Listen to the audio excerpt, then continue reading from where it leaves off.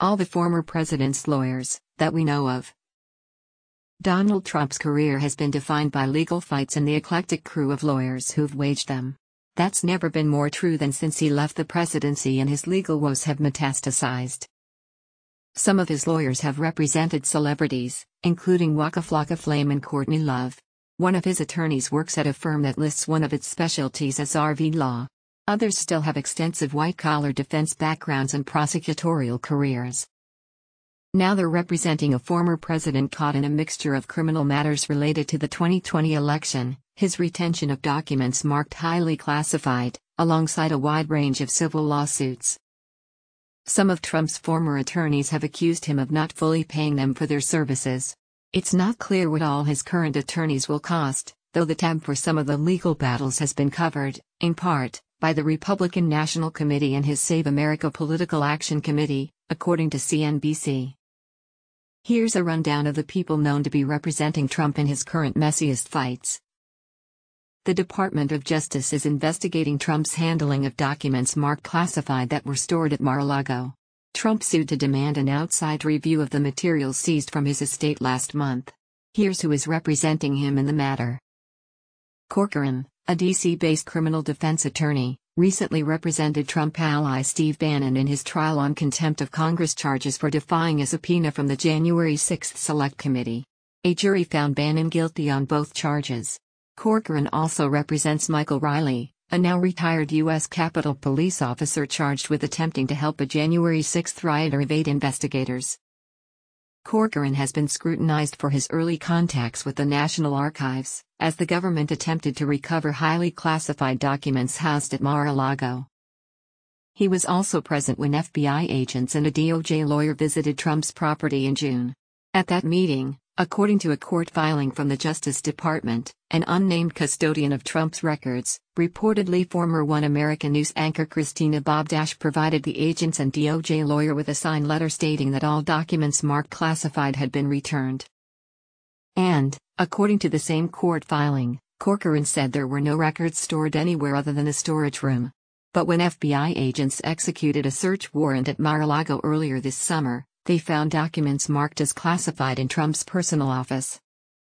Halligan is a Fort Lauderdale based attorney serving as local counsel for Trump in the Mar a Lago litigation. She was one of the only lawyers working for Trump who was on site at his estate during the execution of the FBI search. Kise, a former Florida Solicitor General who has won four cases before the Supreme Court, has been a longtime advisor to Florida Republicans including Governor Ron DeSantis and former Govs.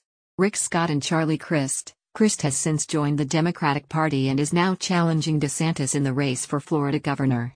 He recently joined Trump's Mar-a-Lago legal team and argued successfully before U.S. District Court Judge Aileen Cannon for the appointment of a special master in the case. Trusty, a D.C.-based former federal prosecutor, has signed several of Trump's filings in the special master litigation and did most of the arguing before Cannon. He previously oversaw gang prosecutions at Justice Department headquarters. It's unclear if Bobb is doing any legal work for Trump on this or any other matter. But she was on site during the FBI search, interacting with agents and communicating with Trump's broader legal team during the nine hour raid. She's presented herself as a member of Trump's legal team in television interviews since the search of Mar a Lago but hasn't formally appeared in court to represent Trump. Bobb, a former OAN anchor with long-time ties to Trump World, has been involved in multiple Trump-related legal and political battles, including efforts to challenge the results of the 2020 election. She was reportedly in the Willard Hotel with top Trump allies as they monitored efforts to subvert the election outcome in the lead up to the Electoral College certification. New York Attorney General Letitia James' civil investigation is looking at how Trump and his companies calculated the value of their assets. Here's who is representing Trump in the matter. Fischetti, who has a decades long career in New York criminal defense, represents Trump in that probe. Years ago, he also represented Courtney Love. A Bedminster, NJ based attorney, Habba has emerged as a prominent spokesperson for Trump and his legal team, appearing on Trump friendly news outlets to rail against the investigations he faces. Habba is representing Trump against James probe of the business practices of the Trump Organization. Habba has also become a spokesperson of sorts for Trump in the Mar-a-Lago case. She said in recent interviews that Trump frequently hosts guests in the club's office where FBI investigators found highly classified documents.